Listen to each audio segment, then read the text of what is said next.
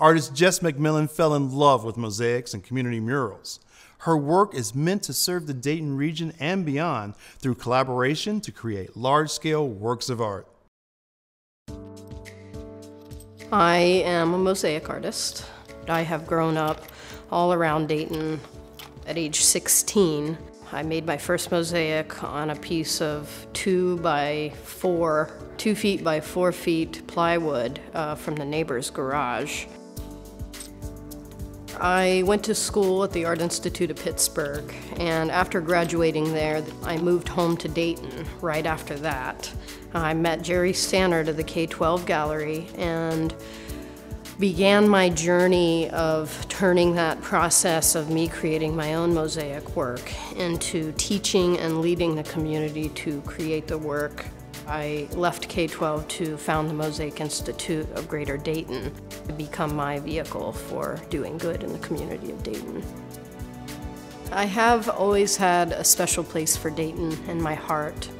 It's hard to really describe, I guess many of us Daytonians feel this way about our city. We have a, an incredible energy and a movement, especially in the arts being an artist activist with the ability to lead a, a large-scale collaborative artwork um, has made me realize that it's my responsibility to serve my community with my special gifts. And so I, I definitely feel, you know, a call to be here and to unify you know, my community, my people that I, that I live with every day and experience life with. The Downtown Dayton Partnership offered its first Art in the City grant, which we were very lucky to receive. So we proposed a 12 foot wide by 9 foot tall gem, a multicolored gem that would be created by all the Daytonians in the city that would come out during Art in the City, and that that finished gem would go into the sidewalk outside of the entrance to the Dayton Arcade, which is the beating heart of our arts community. And so we had this great day of unity in our city, and then the following night, a terrible tragedy the shooting in the Oregon District. Uh, we were called probably about seven hours after the shooting and asked to, you know, asked what, what could we do? What could we provide um, to bring the community together as a way of healing? What type of collaborative project could we offer?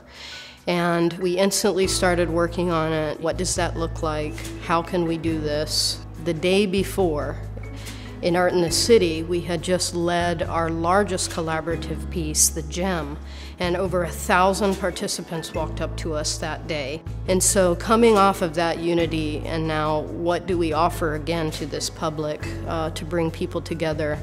We designed the Nine Doves, porcelain mosaic. It was created as a permanent memorial. Our part is creating the ability for people to come and to heal. And with this mosaic, we have designed it to where all nine doves have been created ahead of time, and so those pieces are finished. And as participants come up to the mosaic, they can connect with those nine doves representing each of the victims that we lost.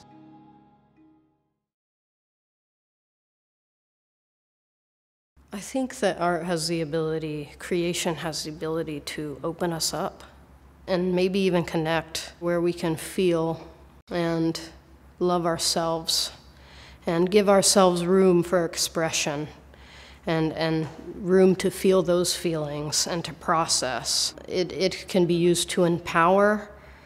Um, art is essential, it, it is a part of all of us. We put in a proposal for creating games in the sidewalks in a neighborhood that had no public parks, no green space for the kids to play. So we proposed creating interactive games all in the sidewalk in the neighborhood to engage them and give them something to do.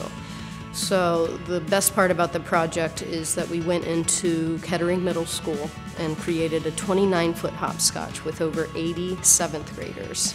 So you have this giant hopscotch that is a beehive, and it has eight games in it, and then you have 10 bumblebees that are scattered throughout the neighborhood.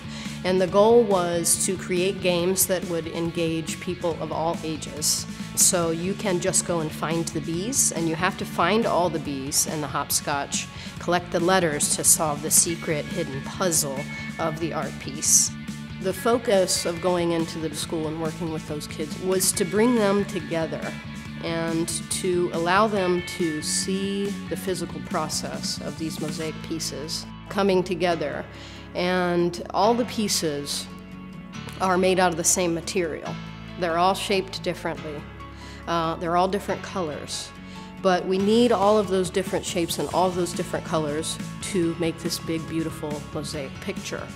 And so, in that process, we're able to relate that to them. They are made of the same material, they are different shapes and different colors, and every one of them are needed to create this beautiful, unified picture.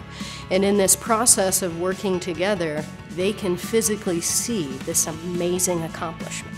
And my hope is that this unifying experience might empower them as they grow. They, they might see each other and, and the differences that are there as a reason to connect and the things that make it better to connect, the things that make teamwork the best are the differences that we have.